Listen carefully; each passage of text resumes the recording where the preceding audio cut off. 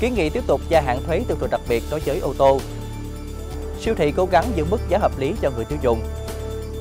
Nông dân toàn cầu lao đao vì giá phân bón tăng cao. Xin kính chào quý vị. Quý vị vừa điểm qua một số tin tức nổi bật sẽ có trong ít phút nữa của bản tin tài chính thị trường. Ngay sau đây là phần nội dung chi tiết. Mời quý vị cùng theo dõi.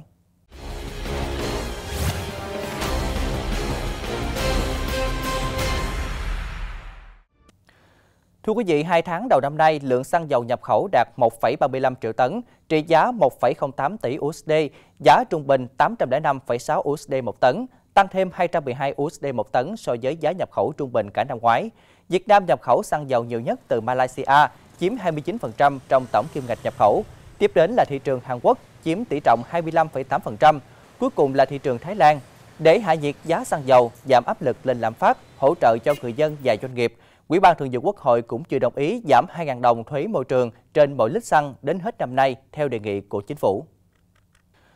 Thưa quý vị, Bộ Tài chính vừa công bố lấy ý kiến rộng rãi đối với nghị định gia hạn thời hạn nộp thuế tiêu thụ đặc biệt đối với ô tô sản xuất hoặc lắp ráp trong nước nhằm kịp thời hỗ trợ các doanh nghiệp sản xuất lắp ráp ô tô trong nước theo nghị quyết số 11. Theo đó, Bộ trình Chính phủ dự kiến gia hạn thời hạn nộp thuế đối với số thuế tiêu thụ đặc biệt phải nộp phát sinh của kỳ tính thuế tháng 6, tháng 7, tháng 8 và tháng 9 năm 2022 đối với ô tô sản xuất hoặc lắp ráp trong nước. Thời gian gia hạn đối với tất cả số thuế tiêu thụ đặc biệt phát sinh của các kỳ tính thuế nêu trên là đến hết ngày 20 tháng 11 năm 2022. Thưa quý vị, sức mua trên thị trường ô tô đang dần hồi phục sau thời gian dài giãn cách xã hội. Một phần nhờ vào chính sách giảm 50% phí trước bạ đối với xe sản xuất, lắp ráp trong nước – Tuy nhiên, hiện tại nhiều doanh nghiệp sản xuất lắp ráp ô tô trong nước đang gặp khó khăn vì thiếu hụt linh kiện, phụ tùng dẫn đến không thể đáp ứng đủ nguồn cung ra thị trường. Là mẫu xe bán tải đứng đầu phân khúc, lại được hưởng ưu đãi từ chính sách giảm thuế trước bạ, nhưng Ford Ranger trong tháng 2 chỉ bán được 230 xe, lần đầu mất ngôi bán chạy nhất phân khúc. Sự sụt giảm mạnh này được cho là do thiếu hụt linh kiện. Cái chính sách thuế ra đúng cái thời điểm này thì có một cái tác động là vô cùng là to lớn đối với cả các cái hãng sản xuất ô tô và cũng như cái phần hưởng lợi đấy dành cho người tiêu dùng cho khách hàng thì chắc chắn là đấy là một cái thị trường nó kỳ vọng rất là bùng nổ. À, tuy nhiên cái để đón đầu được cái ờ, lợi thế đó không thì cũng tùy thuộc vào từng cái nhà sản xuất. À, có những nhà sản xuất thì có rất dư về cái nguồn lực nguồn cung thì chúng sẽ tận dụng được cái cơ hội đó. Nhưng tuy nhiên cũng bên cạnh đó còn có những cái hãng mà chúng ta uh, chưa chuẩn bị được cái nguồn lực đó là do cái nguồn cung, do linh kiện, do cái kế hoạch sản xuất của nhà máy bị cắt giảm thì cái sự uh, hưởng lợi đấy thì cũng, cũng chưa phải hoàn toàn là là là có lợi thế. Thiếu linh kiện lắp ráp, nguồn cung từ nhà máy nước ngoài sụt giảm khiến nhiều hãng như Hyundai, Toyota, Kia, Mitsubishi, Ford trong tình trạng khan hàng. Nếu như chỉ cách đây 2 tháng các hãng ô tô còn tung ra nhiều chương trình khuyến mãi để kích cầu, thì thời điểm này các mẫu xe đã về nguyên giá, thậm chí còn tăng giá nhưng vẫn không đủ xe giao cho khách hàng. À, mỗi tháng thì đại lý cũng cung cấp khoảng từ 180 cho đến 200 xe. À, tuy nhiên ở trong tháng 3 và tháng 4 này do ảnh hưởng của chuỗi cung ứng thì nhà máy cũng cung cấp được khoảng từ 40 cho tới 50%. Tình trạng chung của ngành ô tô toàn cầu hiện nay là các mẫu xe càng nhiều công nghệ điện tử, tức dùng nhiều chip, càng phải chờ đợi lâu. Theo các chuyên gia kinh tế, tình trạng đứt gãy chuỗi cung ứng khó có thể nối lại trong thời gian ngắn. Các cái chuỗi cung ứng hàng hóa đã đứt gãy. Từ đó làm cho hoạt động sản xuất và kinh doanh ô tô cũng gặp nhiều khó khăn. Cái thị trường ô tô Việt Nam của chúng ta trong cái quý 1, quý 2 và thậm chí cả năm 2022 có thể tăng trưởng không cao như kỳ vọng. Các hãng ô tô đều cho rằng khó dự đoán tình trạng thiếu hụt linh kiện chip điện tử khi nào kết thúc. Giải pháp hiện tại là nhập xe và linh kiện để tránh đứt gãy nguồn cung. Tuy nhiên nếu tình trạng này kéo dài, thị trường ô tô khó đạt được kỳ vọng. Mặc dù ở kỳ điều hành ngày 21 tháng 3 chiều qua, giá xăng đã giảm 650 đồng một lít nhưng vẫn ở mức cao. Giá xăng tăng đã kéo theo giá của nhiều mặt hàng khác tăng. Điều này đã gây áp lực lớn đến hoạt động kinh doanh thương mại của các siêu thị. Tuy nhiên, nhiều hệ thống siêu thị cho biết đang đàm phán với nhà cung cấp để giữ giá bình ổn, giữ giá để người tiêu dùng mua hàng hóa với giá tốt nhất có thể. Một tuần nay, chị Lam đã thay đổi thói quen tiêu dùng. Thay vì đi chợ, chị vào siêu thị. Chị Lam cho biết, tới thời điểm hiện tại, giá thực phẩm trong siêu thị có nhiều loại rẻ hơn ở ngoài.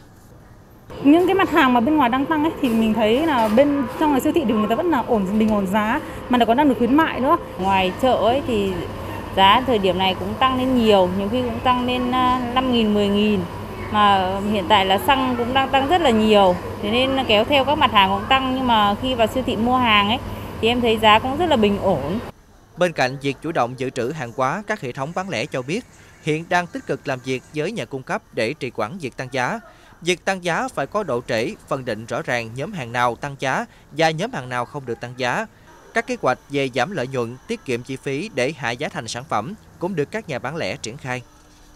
Chúng tôi chia sẻ với lại nhà cung cấp là chúng tôi cùng nhau chia sẻ lợi nhuận để làm sao giảm một chút lợi nhuận để làm cho cái giá cả của thị trường nó được bình ổn và cuối cùng là cái làm sao cái cái đối với hệ thống Sài Gòn Coop chúng tôi là cải tiến công tác vận hành từ công tác vận hành kho, công tác vận chuyển và công tác vận hành của các siêu thị để làm sao để giảm cái chi phí tốt nhất. Hiện tại là có rất là nhiều ờ, đơn vị nhà cung cấp đang yêu cầu tăng giá đối với chuỗi ờ, Vincommerce nhưng ờ, chúng tôi đã cố gắng để kiềm giá đến thời gian lâu nhất có thể để khách hàng được hưởng lợi trong bối cảnh cái nền kinh tế đang bị tác động chung như thế này. Bộ Công Thương cũng nhận định hiện tại giá cả tại các siêu thị cũng chưa có nhiều biến động do các nhà bán lẻ thường ký hợp đồng cung ứng hàng hóa từ đầu năm nên giá xăng tăng tạm thời, chưa ảnh hưởng đồng loạt cùng một lúc tới giá tất cả các nhóm hàng. Không phải là giá xăng dầu tăng thì tất cả mọi thứ đều tăng ngay. Nhưng mà khi mà các cái giá xăng dầu giảm thì có thể lúc đó là cái tác động nó vẫn còn và các cái sản phẩm khác cũng không phải là ngay lập tức đã đã giảm giá xuống. Thì đây là cái mà các doanh nghiệp chúng ta cũng phải có cái trao đổi với các đối tác để có thể cùng chia sẻ những các cái rủi ro cũng như là cùng nó tìm ra cái giải pháp để chúng ta vượt qua trong cái giai đoạn khó khăn hiện nay. Dự kiến đầu quý 2 năm 2022, nếu giá xăng dầu tiếp tục tăng hoặc đứng ở mức cao, các siêu thị sẽ nhận được yêu cầu tăng giá của nhà cung cấp và buộc phải tăng giá từ 5 đến 7%. Nhưng nếu tăng giá quá cao thì sẽ không tiêu thụ được sản phẩm. Vì vậy, doanh nghiệp phải linh động giảm bớt lãi và khâu trung gian, qua đó giữ bình ổn giá bán sản phẩm. Bản tin tiếp tục với cụm tin về giá một số loại mặt hàng. Số liệu thống kê sơ bộ mới nhất của Tổng cục Hải quan cho thấy tổng trị giá xuất nhập khẩu hàng hóa của Việt Nam trong kỳ 1 tháng 3 năm 2022 đạt 30,55 tỷ USD, tăng 12,7% so với kết quả thực hiện trong nửa cuối tháng 2 năm 2022. Trong đó, một số nhóm hàng tăng mạnh như hàng dệt may tăng, máy vi tính, sản phẩm điện tử và linh kiện. Từ đầu tháng 3 đến nay, các hãng thép đã có nhiều lần điều chỉnh giá, Mới đây nhất, giá thép của tập đoàn Hòa Phát đã thông báo tăng 600.000 đồng một tấn với thép cây và thép cuộn xây dựng. Nguyên nhân là giá phôi thép, nguyên vật liệu đầu vào tăng và tập đoàn này quyết định tăng giá bán sản phẩm. Hiệp hội thép Việt Nam cho biết, giá thép tăng do các yếu tố đầu vào như than mỡ luyện cốc, thép phế đều tăng mạnh trên thị trường thế giới. Trước sức ép giá nguyên liệu, Viettravel Airlines đã kiến nghị chính phủ, các cấp ngành xem xét cho các hãng hàng không được chủ động áp dụng phụ thu phí nhiên liệu với đường bay nội địa, đồng thời kiến nghị bỏ quy định trần giá vé máy bay với các đường bay có cạnh tranh. Vietnam Airlines cũng kiến nghị các bộ ngành tăng trần giá vé máy bay từ 1 tháng 4, thêm phụ thu nhiên liệu với đường bay nội địa, miễn toàn bộ thuế bảo vệ môi trường với nhiên liệu bay trong năm nay.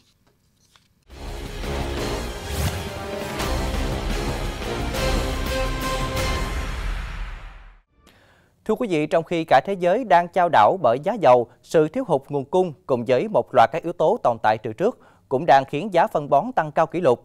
Nhiều nông dân phải thu hẹp lại việc sử dụng và giảm diện tích đất trồng khi giá phân bón đã lên mức cao nhất mọi thời đại.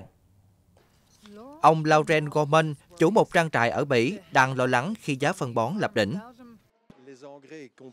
Một năm trước, các loại phân bón mà chúng tôi dùng thường có giá từ 150 đến 200 euro một tấn, mà giờ đã lên mức 800 euro.